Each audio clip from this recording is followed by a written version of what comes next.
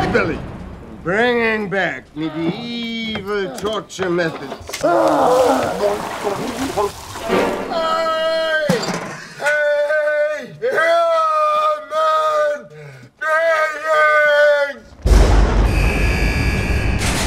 Our prison has the highest violence rates, legal and medical costs than any other institution in the U.S. correctional system. Things will have to change fast. I think I have a solution. No more prison fights. No more assaults on guards. No more disrespect. We've got to make a human centipede of our prisoners. They will literally be on their knees begging for your mercy. It's brilliant.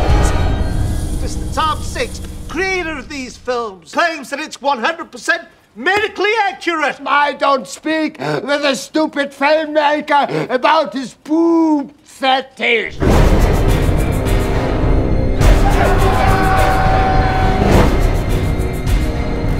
What do you think, Doc? It looks medically accurate. I don't see why someone couldn't survive a lifetime.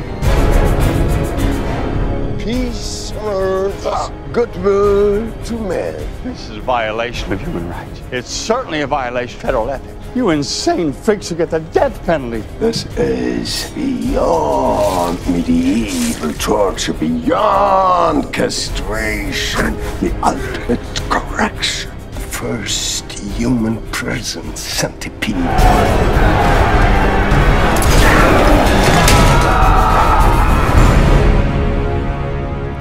This is exactly what America needs.